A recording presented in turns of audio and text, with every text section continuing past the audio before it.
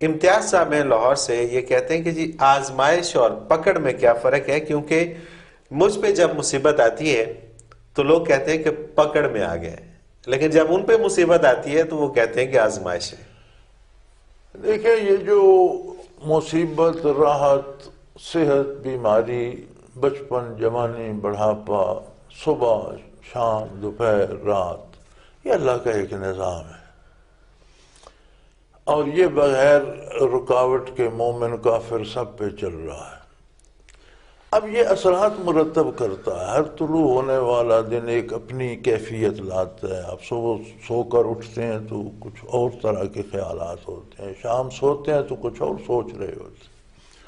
तो इसके तीन दर्जे बयान किए हैं हजरात ने कि मोमिन अगर बामल मुसलमान है शरीयत का एहतराम करता है तो उस पर कोई मुसीबत आती है तो वो तलाफ़ी माफात बन जाती है यानी जो कोताहियाँ हुई हैं उनकी तलाफ़ी हो जाती है। सुबह नबी अकरम सल्लल्लाहु अलैहि वसल्लम ने फरमाया कि मोमन को अदना सा कांटा भी चुप जाए तो कई गुनाह उसके माफ़ हो जाते अल्लाह इसे कहते हैं तलाफ़ी माफात।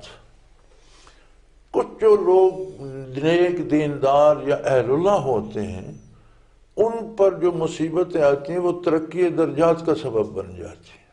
सही। कुछ मनाजिल ऐसे हैं यानी इसे कहते हैं मुजाहिद तरारी एक तो आप इख्तियारी तौर पर मेहनत करते हैं मुराकबा करते हैं अल्लाह अल्लाह करते हैं नमाज़ रोज़ा करते हैं ये तो इख्तियारी है। कुछ तरारी आ जाता है मिन जानबिल्ला बीमारी की सूरत में तकलीफ़ की सूरत में और उसमें उनके दर्जात बुलंद होते हैं। बाज दर्जात ऐसे हैं जिनके लिए मुसीबत लाजम है। मसलन शहादत के लिए कत्ल होना पड़ता है। बिल्कुल सही बिल्कुल शहादत एक मरतबा है। उसे पाने के लिए कत्ल होना तो उस उनको तरक्की ये जो दो हैं तलाफी माफात और तरक्की दर्जात इनमें होता यह है कि बदन पर मुसीबत होती है दिल में राहत होती है। सुबह सुकून होता है शिकायत नहीं होती। और तकलीफ़ दिल महसूस नहीं करता बदन महसूस करता है। जो नाफरमान या काफिर है उस पर जो मुसीबत आती है वो अज किस्म अकूबात होती है। वो तकलीफ़ दे होती है। बदन को तकलीफ़ थोड़ी होती है दिल को ज़्यादा हो रही होती है। आपके जिसम में तकलीफ़ कम है और रूह में ज़्यादा है दिल ज़्यादा परेशान है परेशानियाँ बढ़ गई हैं रोना धोना शुरू हो गया तो नाफरमानों पे या कुफ़ार पे जो आती है अज किस्म अकूबात होती है, यानी सज़ा की किस्म की होती है, और वो अंदर से परेशान कर देती मोमिन पे जो आती है, तलाफ़ी माफात होती है, जो उससे कमियाँ रह गई हैं, वो पूरी। अहल्ला पे जो आती है, वो तरक्की, दर्जात का सबब बनती है। तो ये तो यूँ अगर मुसीबत आए तो फिर तो बड़े हाँ ये तो एजाज की बात है अपना बात दिल देखना चाहिए। अगर दिल परेशान नहीं है तो, तो क्या बात है क्या बात हज़रत जी एक और साहब है इन्होंने भी अपना नाम नहीं लिखा। ये कहते हैं कि आशिक मजबूर होता है या खुद मुख्तार? गुजारिश ये है कि ये इश्क और आश की ये कोई इसकी कोई डेफिनेशन समझ में नहीं आती। सही। ये एक फतूर है आपके दिमाग का कि आप मादी चीज़ों को हासिल करना चाहते हैं और आपकी ख्वाहिश आप पे इतनी गालिब आ गई। हमने देखा है इस आशकी में लव मैरिज होती है और साल बाद तो आशकी रफू हो जाती है फिर पीछे मारे मैरिज रह जाती है कभी उसका बचना भी महाल हो जाता है। सही। है सही। तो ये एक जिनसे मुखालिफ को देखकर जिनसे मुखालिफ में एक तलब पैदा होती है और उनकी एक एक फ्रीक्वेंसी होती है जो दिल से उठती है और आँखों की राह उसकी शुआएँ बाहर जाती है। तो जिनसे मुखालिफ में किसी खातून किसी मर्द की जितनी वो फ्रीक्वेंसी करीब तर होगी वो इतना एक दूसरे की ख्वाहिश करेंगे। इसीलिए इस्लाम ने निगाहों पे पर्दा लगाया। है सही। अच्छा इसमें इश्क हकीकी भी तो है। नहीं इश्क हकीकी इसमें नहीं आता। अच्छा इसमें नहीं आता। ये एक फ़िज़िकल आपकी जिस्म की ख्वाहिश है बकाए नस्ल इंसानी के लिए अल्लाह ने रखी है। तो वो जो शुआएँ निकलती हैं उनकी एक फ्रीक्वेंसी होती है। अब किसी की जितनी करीब होती जाती है इतना वो एक दूसरे को पसंद करते हैं। अगर बिल्कुल एक फ्रीक्वेंसी हो तो फिर वो ही राजा बन जाते हैं। सही सही। लेकिन ये मजबूरी नफ्स की है वक्ती है आर्जी है इसकी कोई हैसियत नहीं। तो इसके हकीकी के बारे में क्या? इसके हकीकी ये है कि आपको आपका दिल इतना रोशन हो कि आपको अल्लाह के नबी से प्यार हो जाए और उसके सदके फिर आपको अल्लाह की ज़ात से प्यार हो जाए और आप दीवानगी की हद तक इतबा करें अल्लाह के आकाम का। प्यार का मतलब ये है कि आप अपने महबूब की माने। फ़ैनल मुहिब्बा लिमन युहिब मुतीहू। किसी अरब शायर ने कहा था कि मोहब्बत करने वाला महबूब का गुलाम बन जाता है। फिर वो वही करता है जो महबूब चाहता है। सही। तो इसके हकीकी की ये हाल है कि फिर आप अल्लाह की तलब में आ जाए। सही। तो तो इस हवाले से अगर हम ये देखें कि आशिक मजबूर है या खुद मुख्तार? मजबूरी जो होती है उस पर कोई अजर मुरतब नहीं होता। सही बिल्कुल सही। सुबह अल्लाह मजबूरी तो फिर ज़ाहिर है वो। मजबूरी मजबूरी है।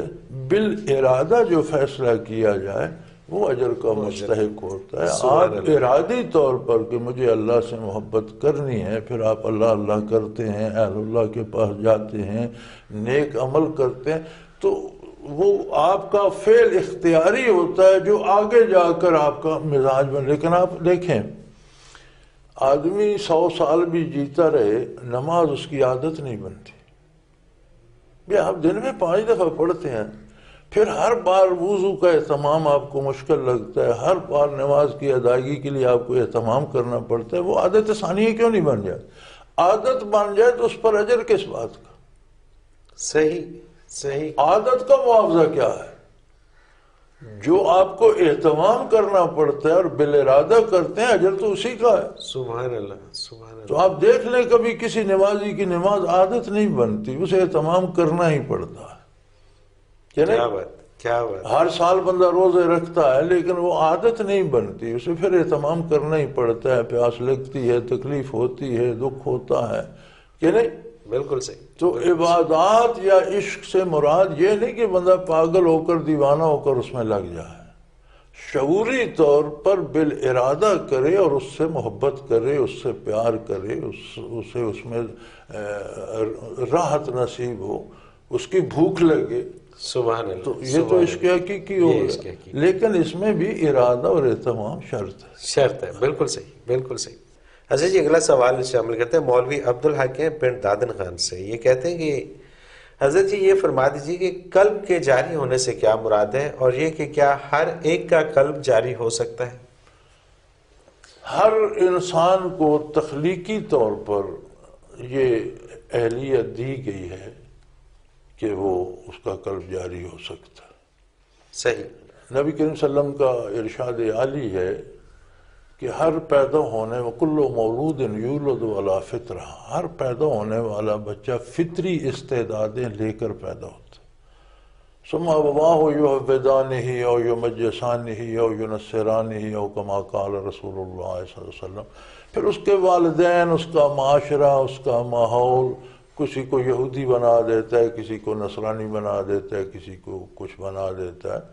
तो वो फितरी इस्तेदाद तो होती है। अब उसे चाहिए क्योंकि ये जो कल्ब का है जारी होना, ये एक टच सिस्टम है। नबी करीम सलम को जिसने देखा, या हजूर की नज़र पाक में आया, सहाबी हो गया। सहाबी की सोबत में जो गया, वो ताबी हुआ। जो ताबी की सोबत में गया, वो तबा ताबी हुआ। इसी तरह ये अहलुल्लाह फिर उस की सोबत में गए तो उन्हें ये अल्लाह नसीब हुई। तो किसी ऐसे शख्स के पास जाना पड़ता है जिसका कलब खुद जारी भी हो और दूसरों का कलब जारी करने की इस्तेदाद भी रखता हो। सही। तो ये दिए से दिया जलता है यज खुद जारी नहीं होता। नहीं होता, सही। तो ये बरकत लेनी पड़ती हैं लेकिन इसकी इस्तेदाद हर बंदे में मौजूद है और तादम मर्ग रहती है काफिर में भी वो तोबा कर ले और अल्लाह अल्लाह शुरू कर दे तो फिर सारे वो भी हासिल कर सकते सुबह अल्लाह सुबह अल्लाह मौत तक ये इस्तेदाद रहती है और इसी की जवाब तलबी होगी कि तुम में मार्फत इलाही की इस्तेदाद तो थी तुमने क्यों ज़ाया की?